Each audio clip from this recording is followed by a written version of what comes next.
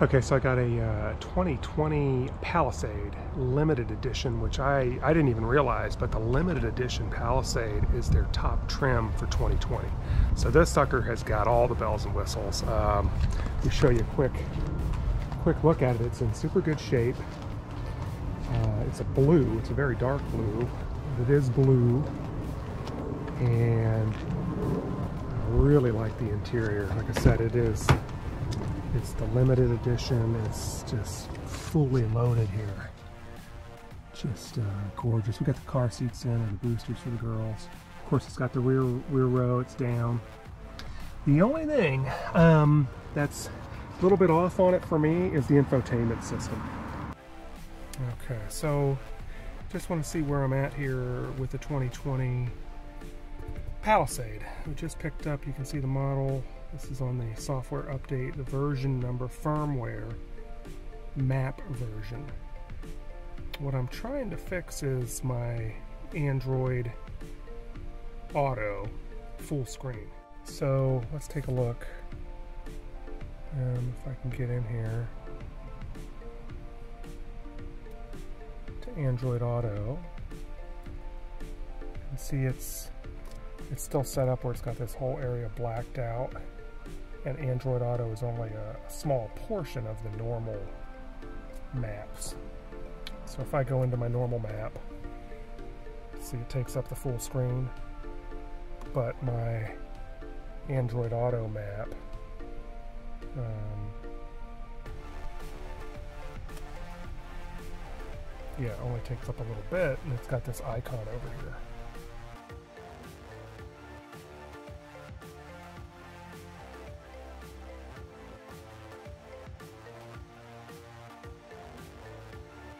So clearly it's time to update the software in the vehicle, right? So here's how to do it. Um, the first thing I noticed that I had no registered vehicle under my Hyundai account, and I was signed in, but you don't need to. You can simply select um, do this later, find your vehicle, in my case it's the 2020 Palisade, and and then it's going to ask you to download it to an SD card. For me, it was the D drive. And you've got to have, you know, 35 to 45 gigabytes of data available on your, your thumb drive to download and extract the data onto the thumb drive. So I'm just double checking. Um, there's my thumb drive. It's got, 119 gigabytes, so I've got plenty of room there. Uh, it's formatted properly, which is a EFAT, E-F-A-T. Uh, so I did a quick reformat to make sure I was in the right um, format for the installation onto the thumb drive. Okay, so now uh, you're ready to download. You're going to click Next, Confirm, just double checking you've got the right portable hard drive set up. You don't erase something that you don't want to. So you click Yes. Okay, it's going to format all data on the D drive click OK, click yes. and then here, I didn't have enough hard drive space on my computer to download the 75 gigabytes um, from the Hyundai portal. So I had to clear off some hard drive space, and then I come back to it. Uh, I didn't record all that piece, but I came back, and now I've got enough room on my C drive, because what it's going to do is going to download the software to your C drive or your hard drive, and then it's going to copy it and extract it onto that thumb drive. Okay, so here it is. We're back to here. We're double checking. I've got enough room on the hard drive, and I've got enough room on the thumb drive. So again, D drive, I'm going to click yes.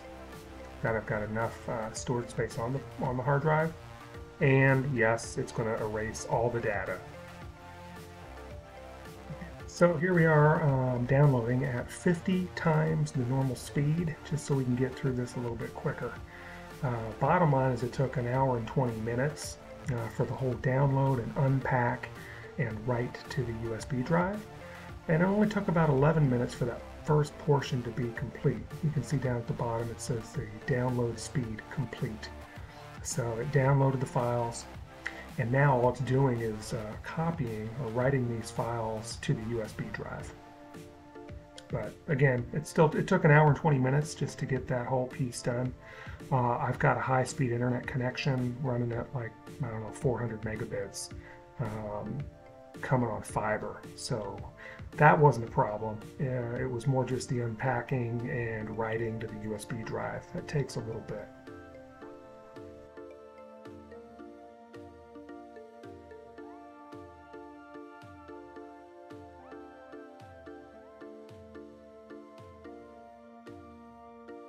Yeah, it took so long that at one point my computer screen turned off or computer went to sleep or something. Uh, then I noticed it and I, I got it back up and, and on. Uh, so it continued to work in the background. And then I also ran like a speed test at one point real quick just to check my uh, internet connection because I didn't realize it had already downloaded. But uh, here it is, home stretch, finishing the download and the, the write to the USB drive.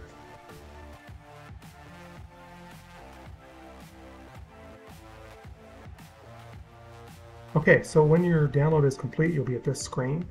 Uh, and you can see there are a couple different options you can do. You can close the program, you can open the folder, um, pull another vehicle to download some additional um, updates for another car. Uh, so I just clicked on open the folder, and this is going to open up your USB drive, and you can see all the updates that are on there. And in my case, I believe it ran maybe three or four different updates to get it from the original software, firmware, and map updates to the latest and greatest, which I believe was published in December of 2023.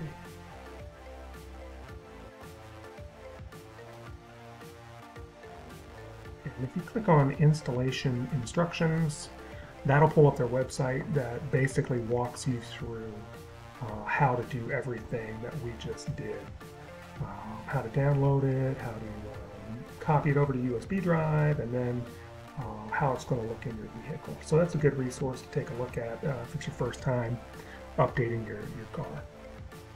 Okay, so what I want to do is I've downloaded um, the update. At least I think I have. This is the first time doing this uh, in this vehicle. So uh, I put it on this USB drive.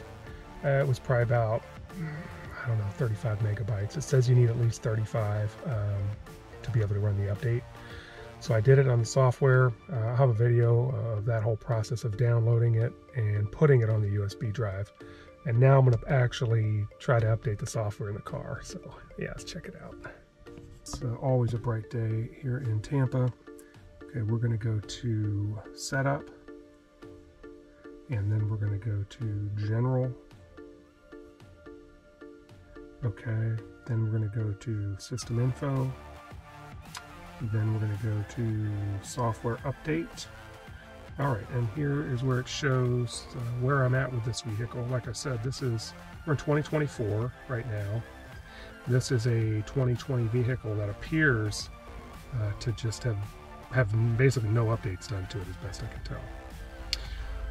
So what I want to do now is um, back out of here. It's giving me the battery discharge warning for having it just in accessory mode. All right, so I'm going to use this connection down here. Right, and I'm going to plug in my USB. And I believe this is the only data uh, USB plug in the vehicle. There we go, it's in. Okay, wow, okay, so as soon as I plugged that in, this popped up straight away. I didn't even, I didn't press any buttons on the screen. It says, new features will be available, rear camera and BlueLink. No features will be available during the update. Okay, I gotcha. So I'm going to update it to this version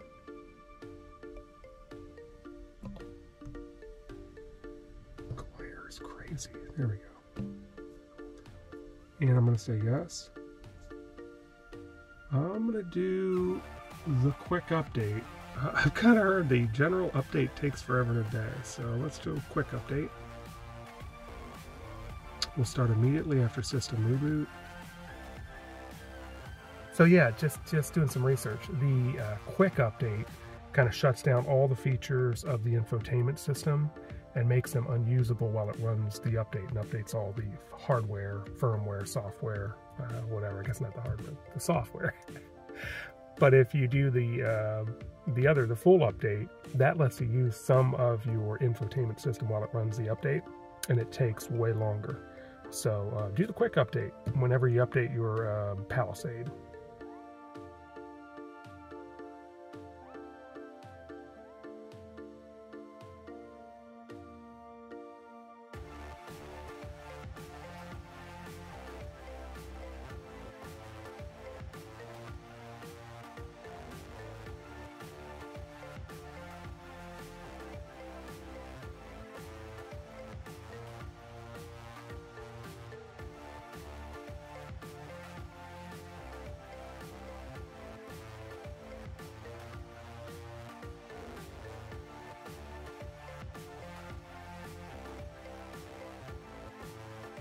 So running a quick um, system update, map update on my 2020 Palisade right now.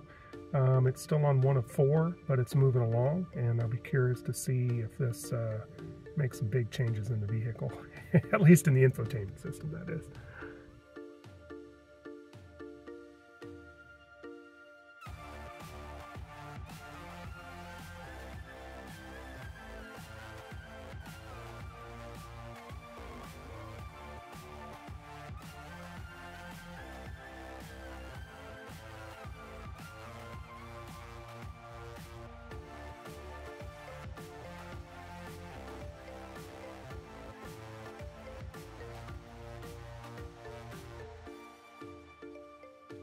Okay, so taken a while, so I went ahead and get a get another round of coffee.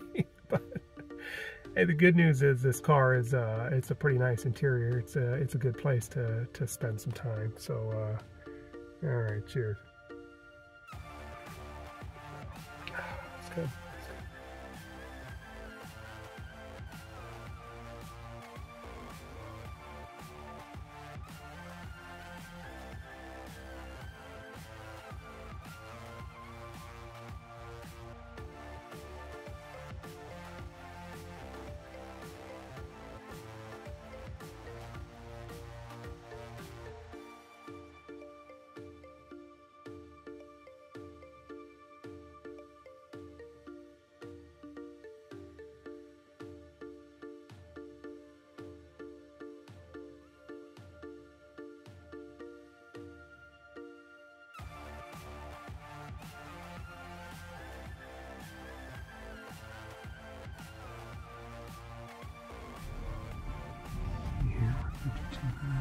For the details. Curious to see what it shows. Software version. New routing traffic. Automatically calculates and displays time and distance. Okay. Optimal route. Settings. Route guidance. Closes windows when a vehicle enters a tunnel. Okay. Activate upon entering parking tickets through the navigation system. I don't know if we'll actually use that, but interesting. Sounds of Nature 3. okay. All right. Quickly switch between radio channels by entering the desired frequency in the numeric keypad. Okay. So there you have it. Oh, wow. Cool. It looks like a lot of this is now changed. Excellent. This is different right here. Guest change user. Guest is currently logged in. Here. Unplug my USB. Just unplug the USB and I'll plug back in. This is just what I'm using for Android Auto.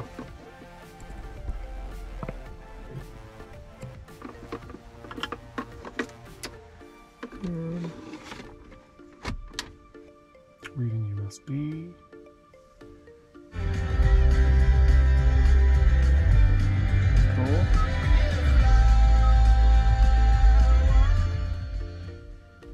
so it automatically comes up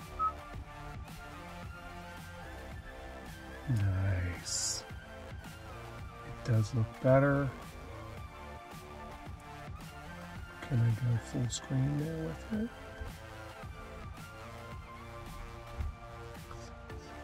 Okay, so mission complete. All the updates are done and Android Auto now. Let me show you this. We go to Maps. Can I go back to the middle? Go to Maps. Ta-da! We got a full screen, baby. Excellent.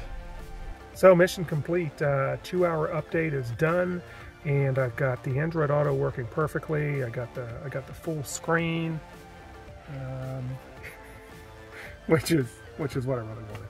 Uh, I was tired of looking at the little like you know two thirds of a screen. Uh,